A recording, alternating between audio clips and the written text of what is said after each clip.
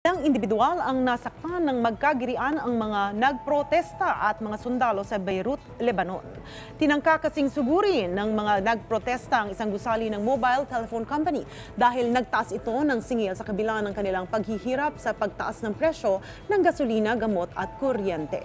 Ipinaliwanag naman ng Lebanon government na kailangan nilang magtaas ng monthly rates upang mapunan ang tumataas na gastusin sa pagpapatakbo ng kumpanya. Nahaharap ngayon sa krisis ang Lebanon dahil one-third ng kanilang mga manggagawa ay walang trabaho.